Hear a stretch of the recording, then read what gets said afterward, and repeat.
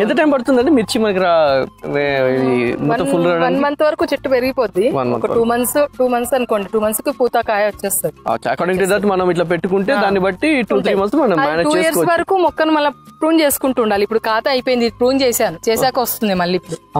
ఇది ఇప్పుడు last time ఇట్లుండేది అంత అయిపోయింది. ఇప్పుడు మళ్ళీ ప్రూన్ చేశాక మళ్ళీ పూత కాయ వస్తుంది చూడండి. అవునండి మీరు పచ్చిమిర్చి. మీరు అన్నట్టు కరెక్ట్ ఎందుకంటే పచ్చిమిర్చి మీద కొట్టినంత ఎరువులు పురుగు మందు దేని మీద ఆకుకూరలు. అంటే ప- పచ్చిమిరపకాయ మీద చాలా ఎక్కువ పురుగు వస్తుందని చెప్పేసి బాగా కొడతారంట. పచ్చిమిరపకాయ ఎప్పుడైనా కూరలో వాడేటప్పుడు కూడా బాగా అంటే బాగా కడగాలి పచ్చిమిర్చి ఎప్పుడైనా ఉప్పు నీళ్ళతో కడిగి పది నిమిషాలు నానబెట్టి మళ్ళీ కడిగి తినాలంటారు. చాలా మంది. కానీ ఇక్కడ మనం ఆర్గానిక్గా ఇంట్లోనే పురుగుల మందు లేకుండా హ్యాపీగా ఇప్పుడు ఇప్పుడు ఇది అయిపోయింది కదా ఇంకో వైపు నుంచి మళ్ళీ పెట్టుకుంటుండాలి. ఎప్పుడు మనకు పచ్చిమిర్చి కావాలి అనుకుంటే. ఈ నాలుగు మొక్కలతో సరిపోదు. ఇప్పుడు ఇవి పెరుగుతున్నాయి ఇవి పోతున్నాయి. మళ్ళీ పక్క నుంచి మళ్ళీ అక్కడ ఇదిగోండి ఈ బకెట్లలో మళ్ళీ అన్ని పెట్టుకున్నాను నేను కొత్త మొక్కలు.